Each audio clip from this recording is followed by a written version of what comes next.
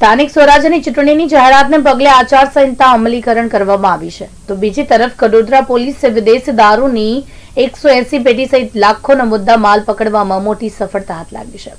ત્યારે આચારસંહિતા સમયે આ વિદેશી દારૂના જથ્થા સાથે ભરેલો ટ્રક ક્યાં જઈ રહ્યો હતો, એક મોટો સવાલ અહીં ઊભો થાય છે.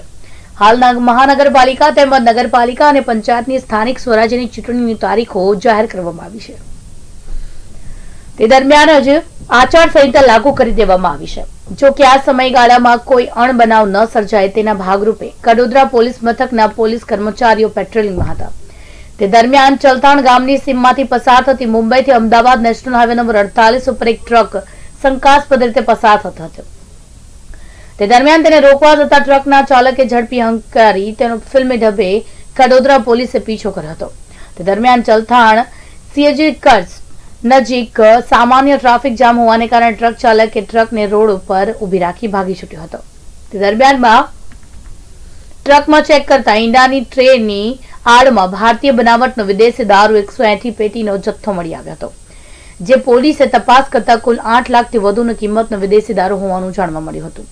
જેથી પોલીસે વિદેશી દારૂનો જથ્થો તેમજ ટ્રક અને અન્ય ચીજ વસ્તુઓ મળી કુલ્લે સત્તર લાખથી વધુનો મુદ્દા માલ કબજે કર્યો હતો. તો બીજી તરફ પોલીસે ટ્રક ચાલક અને ક્લીનર સહિત દારૂ મંગાવનાર અને મોકલનારને વોન્ટેડ જાહેર કર્યા હતા. ત્યારે અહીંયા સવાલો ઊભા થાય છે કે હાલ સ્થાનિક સ્વરાજ્યની ચૂંટણી આવી રહી છે અને હાલ આચારસંહિતા લાગુ કરવામાં આવી છે.